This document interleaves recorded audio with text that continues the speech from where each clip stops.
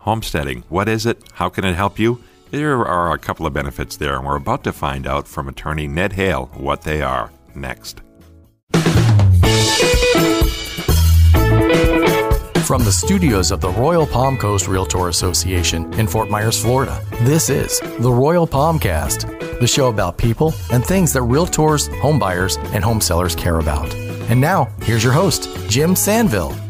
Hello and welcome to the Royal Palmcast. I'm Jim Sanville, and we are coming to you from the production studios of the Royal Palm Coast Realtor Association in beautiful sunny Fort Myers, Florida. Today I'm here with Jerry Johnson, our producer extraordinaire, and a special guest we will introduce in just a moment. Jerry, how's things in your world? It's excellent. I'm having the best day. Really entertaining and educational with Mr. I'm going to leave the guest name as a surprise so you can Ooh, that's you can introduce tease. him. That's a good tease. That's I- right. I can feel the downloads coming right now. That's right. People got to know. They got to Tell know. your friends. No, this is, this is really a good guest. We uh, have had him on a couple of times before. We talked uh, previously about wire fraud and other kinds of fraud in a couple of episodes. So look those up if uh, you are so inclined. And if you're a realtor, you ought to be inclined because Ned had some great uh, tips and warnings about what to avoid and how to extricate yourself from difficult situations that you can get into because a lot of bad guys out there. A lot of bad guys. Ned is an attorney, as I mentioned here in, in Fort Myers. He is with the law firm of Hale Law Services. He is the owner. And uh, he has offices in Fort Myers, Estero, and Sanibel. Those are beautiful places, every single one. The and uh, he's also a board certified real estate uh, attorney uh, under the Florida Bar and the Florida Bar section member. He does real property, probate, trust law, business law, elder law. Busy, busy lawyer. So we're very pleased to have him. Ned, welcome. Thank you. I really appreciate coming back, Jim. Yeah, I hope you enjoyed your last uh, your last foray into our studios. I did. I uh, found myself. Uh, I was able to overcome my shyness. It was remarkable. You you just put me at ease. We're blown away by how you've come out of your shell because uh, you know that's that's your reputation. You're a shrinking violet at times, right? I am. Not so much. Not so much. Ned knows how to get the word out there. He's a great communicator, so we are thrilled to have him. Ned, uh, just to refresh the folks' memory, uh, tell me a little bit about your background, where you're from, where you went to school, that sort of thing. I'm originally from a suburb of LA, and uh, I grew up out there. My parents are actually from Atlanta, the Atlanta area. Moved out to LA because what? California dream is a subset of the American dream. They knew nobody out in California and uh, grew up out there. Went to college and law school in Chicago because I wanted to try something new and get a little cold and get a little wind. And then I wandered my way down here at the latter part of law school, following somebody down. And I didn't know anybody here. And I said, well, I didn't have a job in Chicago, so I might as well go to Florida where it's warm and the air is clean and not have a job there. Hmm. You went to school where? Right in the Loop in that area? I Chicago? did. Yeah. I did. Downtown Chicago. Did you ever go to the Billy Goat Tavern? I did in college, you bet. Yeah, yeah. I went to the Billy Goat. Been there a couple times. Yeah, no, no, Coke, Co- Pepsi. no Coke Pepsi. no cheap, no fried cheap, no, cheap. no, no Coke Pepsi. Oh, it's a lot of fun. Chicago has so much character. I miss it every day. Uh, but as everybody says, great city, awful weather. No, I'm sure you're a baseball fan. South side, north side. You a Cubs guy? I am absolutely a Sox guy. Sox guy. wow. Okay. I live very close to the stadium in Bridgeport, and that's near the near the Sox Stadium. Okay. in Comiskey. I'm a Sox guy too, but another color. But they, the Red Sox, my team from I'm from New England, Mm-hmm. they play here in Fort Myers, which to me was a big draw. Except this year, not so much. You're not the only one. We got a, we're getting a lot more Bostonians down here, Mm-hmm. a whole lot more, and I think the Sox have something to do with it. Yeah, I, I formerly lived in Lakeland for a couple of years, where the Tigers play, and a lot of people from Michigan there. Mm. Big, big draw. So baseball is cool. We miss it during these COVID times, and uh, hopefully we'll get back to normal at some point soon. So, Ned, today we want to focus on a very interesting topic. Uh, interesting to me, anyway, because I, I just I hear this term a lot, but I have no idea what it means. Homestead, homesteading. Talk about what that is and where it comes from and what it means. You know, when I first heard the word homestead, that's not the term they use in California. They say primary residence. I thought about homesteading in Oklahoma. Remember that? All the homesteading historically that was done in in Florida, it kind of has a different meaning. It really is personal residence you can declare a property as your homestead. And it's such a fascinating subject because it's so powerful and so useful. And I believe one of the many reasons that we are getting more and more residents here in Florida, people moving from other states. The important thing to understand about homestead is the benefits for it are listed in the Florida Constitution. All right. A lot of people don't know that, but it's a much tougher to overturn the Florida Constitution than it is some statute somewhere. Mm-hmm. So it's pretty rock solid. The three main homestead benefits are three different areas. What does that mean? Number one, you get a reduction in your real estate taxes, and we'll talk about that. Number two, you have asset protection on your homestead where someone can't come and take it. Number three is there are certain restraints and requirements on devise. In other words, who can you bequeath your homestead to? There are certain rules for homestead versus a regular piece of property. Today, Jim, we're going to talk about the first two tax benefits and asset protection benefits. What are the tax benefits? Well, you know what they are. If you have a Florida homestead, your primary residence, you get a tax deduction off the top for $25,000, just like deduction on your income taxes. They take the assessed value of your homestead, not the not necessarily the market value, the assessed value, and they knock 25 grand off the value for all taxes and then another 25 grand off for everything except school. So it's not really 50,000 off the top. It's 25 off the top for everything. The second 25,000 is including all taxes except school taxes. Okay? And this is this is not just for people who have multiple homes, multiple states. It's it's for residents who live here full time. Well, we'll get into that. Okay. We'll get into that. So it's a tax benefit. The other tax benefit is what they call Save Our Homes is on your homestead, your real estate taxes cannot go up more than 3% per year. So, regardless of if the value increases, the other tax benefit is on a homestead, your taxes can't go up more than 3% per year. So that people who've lived here a long time and maybe the property's gone way up in value, they don't get taxed out of their home. So, those are two major, major benefits for homestead is saving in real estate taxes. Um, what else do we have to talk about? The next factor is how do you qualify for homestead? Because we're going to get to asset protection in a minute. All right. How do you qualify for homestead protection? So let me ask you, Jim. If you have a, let's say you're applying for Florida homestead, you live here, right?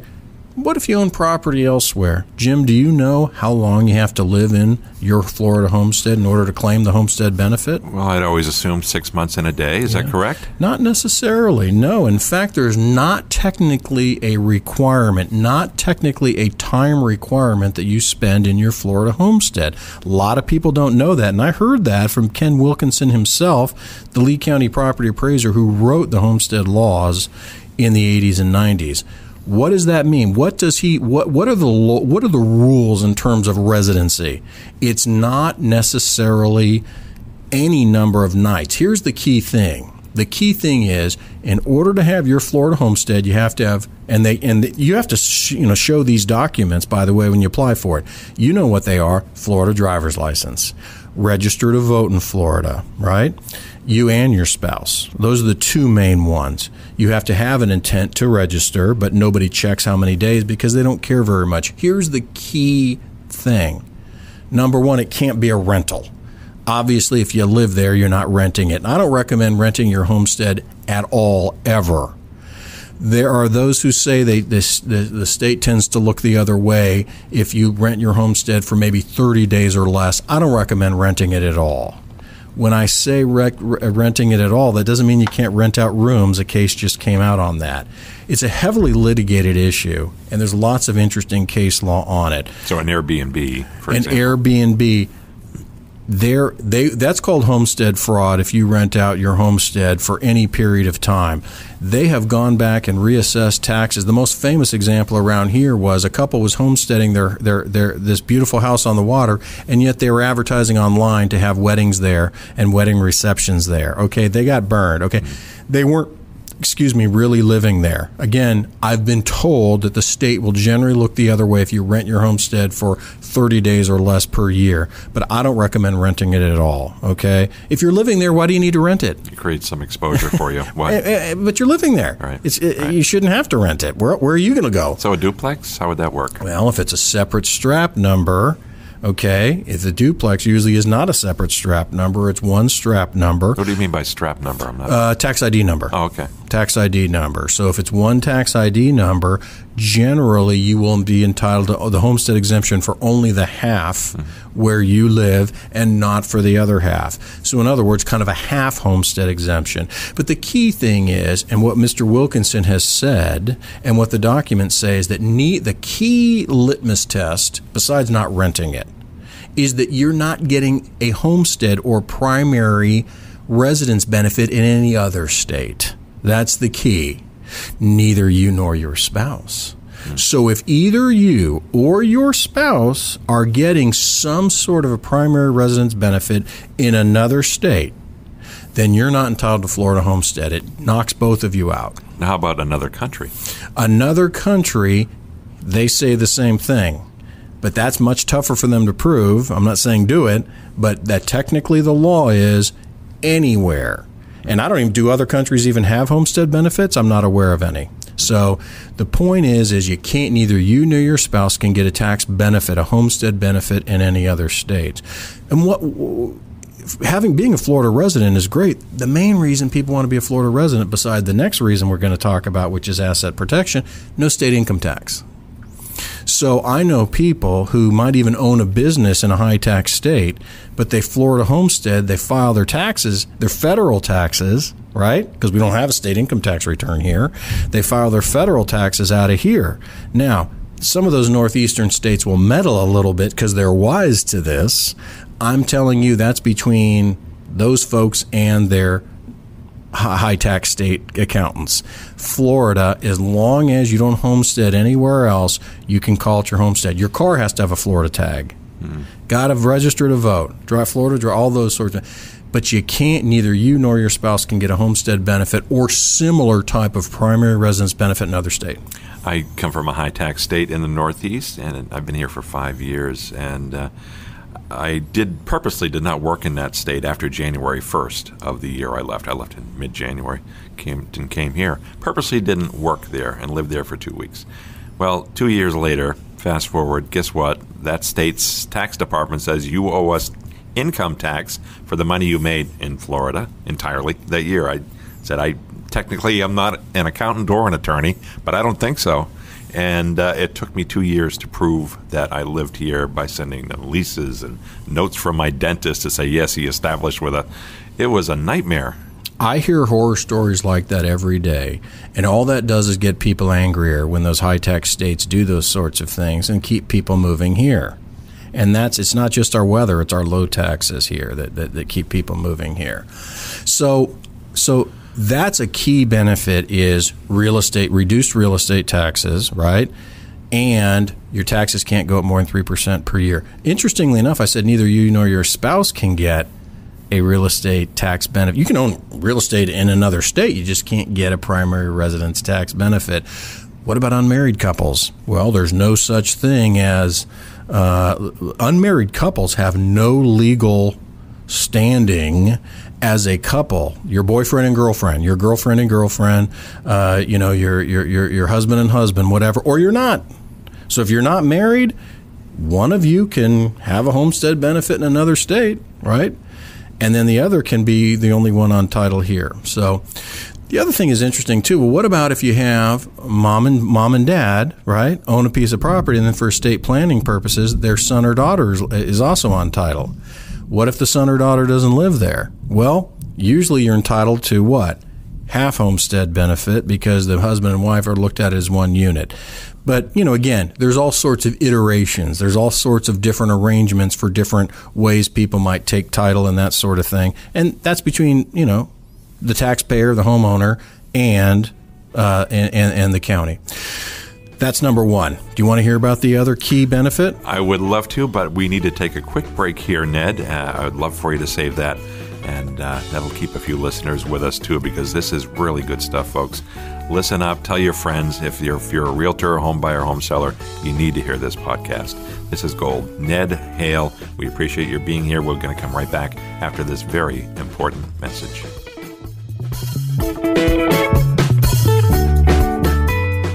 Hi, this is Jerry Johnson, and you're listening to the Royal Palmcast. Hi, I'm Andrea Dillon, and you're listening to the Royal Palmcast. I'm Bill Steinke, and you're listening to the Royal Palmcast. Are you a realtor in the Fort Myers, Florida area or thinking of becoming one? If so, you should know that the Royal Palm Coast Realtor Association is here to support you. Sure, we offer access to the multiple listing service, but that's just the beginning. We also offer certification classes, exclusive online tools, and a peer network of over 7,000 local realtors and business partners. We also operate a realtor store with signage, lockboxes, maps, and other realtor essentials at our locations in Fort Myers, South Fort Myers, and Cape Coral. Our advocacy arm, RPAC, works to make sure your voice is heard in Washington, Tallahassee, and at the local level. We speak out on issues important to the real estate industry, like water quality, private property rights, and tax matters. Realtors from throughout Lee County, Florida, and beyond count on the Royal Palm Coast Realtor Association to help keep them at the top of their game. If you're a realtor or an aspiring realtor in the Fort Myers area, you'll want to take advantage of all we have to offer. Contact us today. You can start by visiting our website, rpcra.org, or by following us on Facebook, Twitter, or Instagram. The Royal Palm Coast Realtor Association is here for you.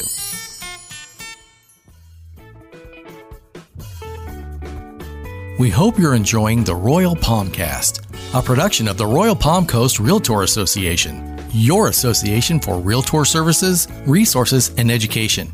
We are committed to the success of all of our members and advocate for property rights, both residential and commercial, as we continue our efforts in participating and influencing public policy on local, state, and national levels. Your association also leads the way with community involvement, member engagement, promoting the use of local, state, and national benefits, and more, all of which helps provide a superior realtor experience. The staff of RPCRA is here for you. Visit our website at rpcra.org and make sure to find us on Facebook, Twitter, and other social media for valuable information on upcoming classes and events.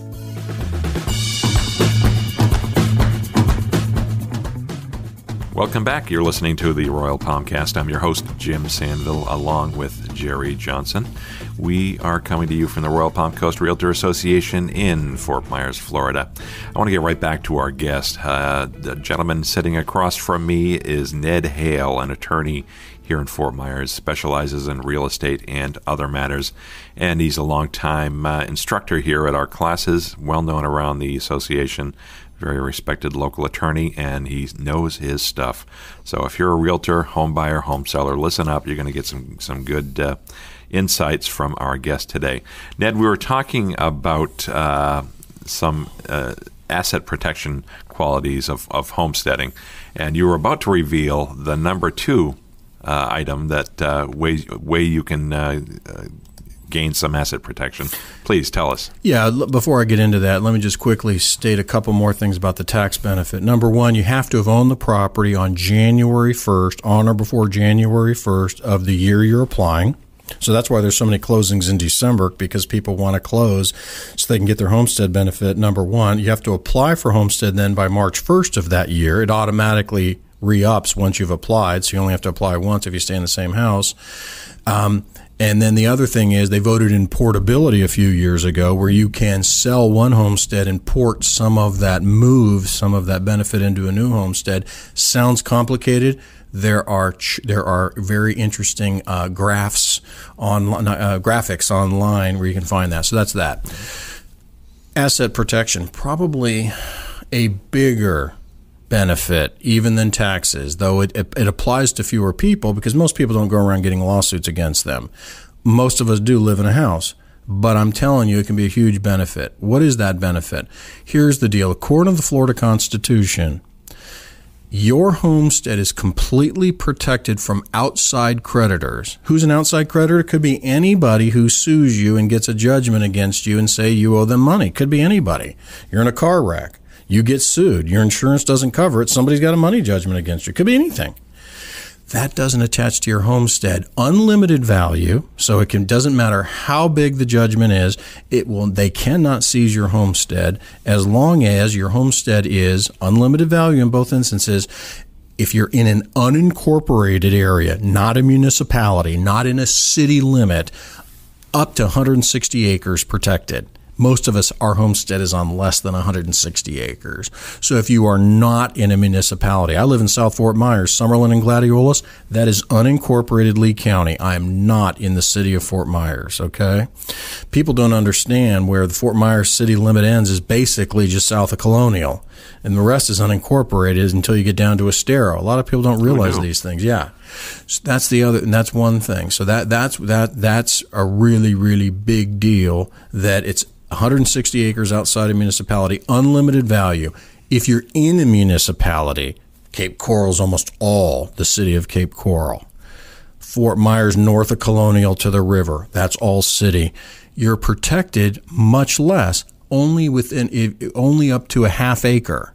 So as long as your homestead, unlimited value still, but as long as your homestead is on a half acre or less, which mine happens to be anyway, so it wouldn't matter, most of us are, uh, then you still get full homestead benefit. An outside creditor cannot take it. That's a big deal, okay? Because it means in Florida, your home is your castle. No one can take that away, unless, of course, think about it. Obviously, if you affirmatively mortgage your homestead and then don't pay, they can take it. If you have a private lien where you have literally signed something saying, if I don't pay you, you can take my homestead, then they can take it if there's a mechanic's lien by statute, if a, uh, a repairman does some, you know, contractor does work on your house, he can lien your house. So there are exceptions, but in general, it's a great asset protection device. I've said for a long time, a lot of these mansions that you see that are waterfront or whatever, you don't see people there very often. A lot of times, those people are homesteading here as a great place to put their money so that they know that it can't be taken by an outside creditor. And I can tell you a great, an interesting case that came out a long, about 20 years ago, if we, if we have time. Please do. It, yeah, we, we'd love to hear. Here's how strong the Florida homestead laws are when it comes to asset protection. Get this true story came out in, I don't know, it's called the Havoco case. Any real estate lawyer knows about it, pushing 20 years ago now. Get this a guy is in Tennessee, a fat cat, gets a $15 million judgment against him, something around there. Three days after the judgment was against him, he moves to Florida he invests, I don't know, 10 million in a Florida mansion homestead, right? Then he says, okay, guess what? Then he declares bankruptcy. All right? And the creditor says, wait a minute, you can't do that. You hid your money. You took your money with a specific intent to defraud us, and you hid it into a Florida homestead. Now, because of that case, they changed the bankruptcy laws slightly, which again are federal. And now the law is he couldn't do that today and declare bankruptcy. Now there's a 30 month requirement for Florida residency to be able to declare bankruptcy and have your homestead exempt. But that's not my point. Let's say he, let's say he hadn't declared bankruptcy for whatever reason. Would his homestead be protected? He didn't declare bankruptcy. He admitted he did it to hide money into a Florida homestead. That went all the way to the Florida Supreme Court and they certified the question. They literally said, is it okay for someone with the intent to defraud creditors, they use that word, to take money that is not exempt from creditors, that could be seized, it was in the bank, and then dump it into a Florida homestead? Yes. so, the Florida Supreme Court said the homestead protection is that big that you can take money that a creditor ordinarily could have taken. They didn't take it. You dump it into a Florida homestead. That's legal. Since then, though, the courts have said, hey, time out. Yes, as long as no one can prove that you didn't steal the money to buy the homestead. Subsequent cases have said if you stole the money to buy the homestead, your homestead can be taken. But in that case, there was no proof that he stole the money to buy it. See the distinction? Mm, interesting, interesting stuff. What else do we need to know about homesteads? What's the main the main thing is that you can see how important the protections are. That's why again, re, not that long ago, right? Not that long ago, Carl Icahn and Donald Trump both homesteaded here because they wanted to in in part they it's been stated they've both admitted it they didn't want to have to pay state income taxes in their respective New York right? And they wanted to protect their homestead. Those really are the two main things there's been a lot of case law on that for example what happens if what happens if you're over let's say you're in Cape Coral and you have a homestead what if you're over half an acre right? What if you're on one acre in Cape Coral? Now, only a half acre is protected. Guess what?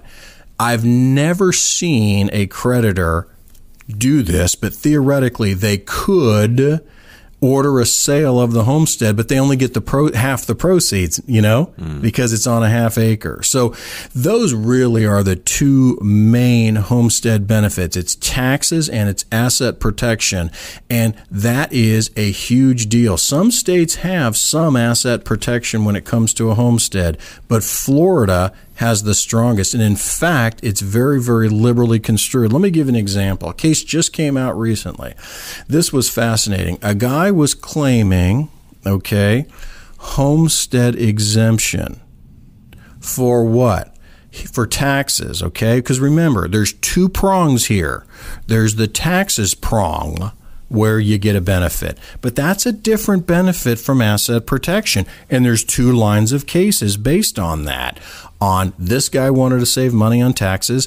The tax collector sued, and what did the court say? This guy wanted to avoid paying a judgment, and he's claiming homestead. What did the court say? Okay, on on the first prong where he didn't want to pay, ta- he wanted lower taxes. A case just came out where a guy in this district too. Our second district court of appeals that covers from Lakeland down to Naples, it's based in Lakeland. Okay, that's where the second district court of appeals. There's five district district court of appeals.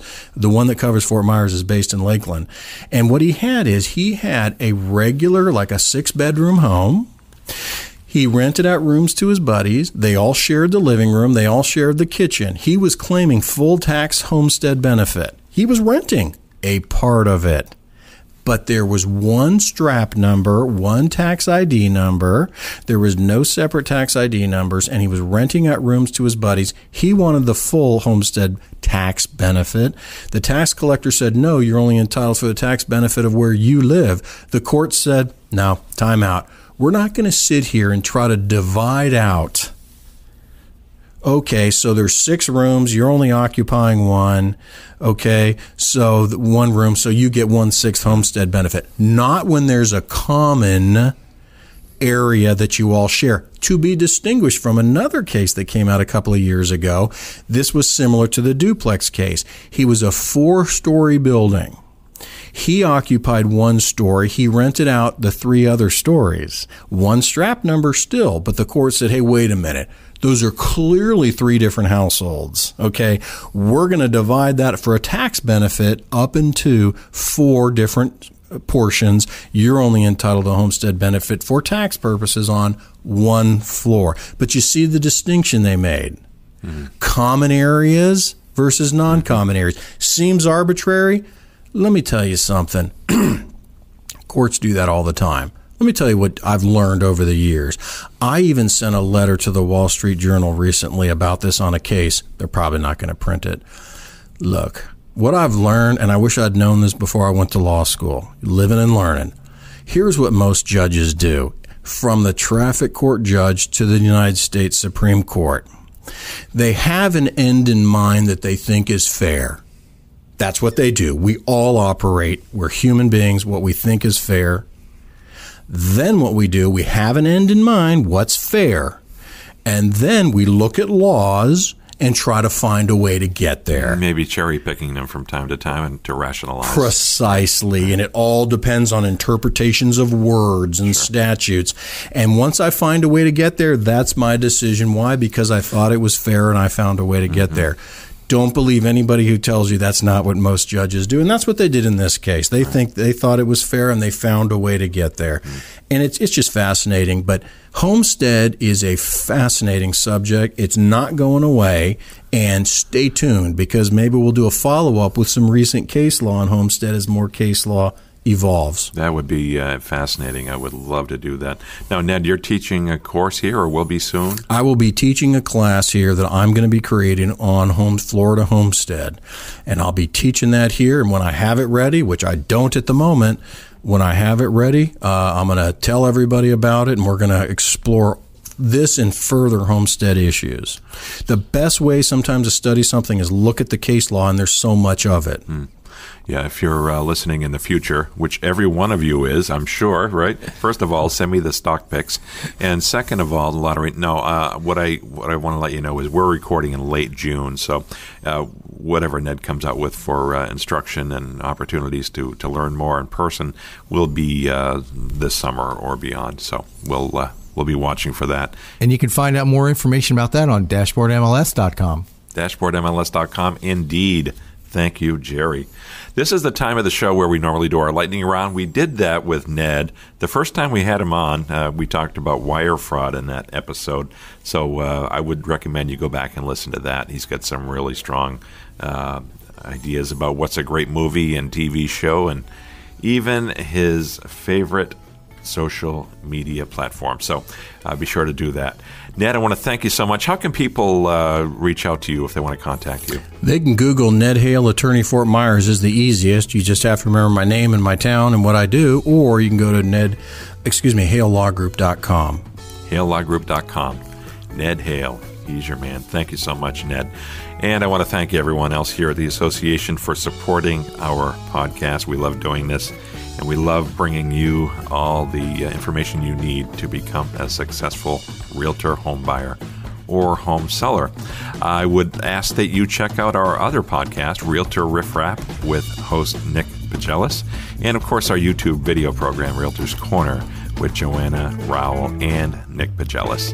Check those out and subscribe. We would appreciate it. So, on behalf of Jerry Johnson, our CEO, of Beata Jones, and everyone here at RPCRA, I thank you and look forward to seeing you again next time. Thanks for listening to the Royal Palmcast. Tune in again for more episodes and make sure to check out our sister podcast, Realtor Riff Rap and our video news show, Realtors Corner, which can be found on the Royal Palm Coast Realtor Association Facebook page and YouTube channel. Sponsorship opportunities for these programs and more coming soon. So stay connected with RPCRA and stay tuned. This has been a production of the Royal Palm Coast Realtor Association.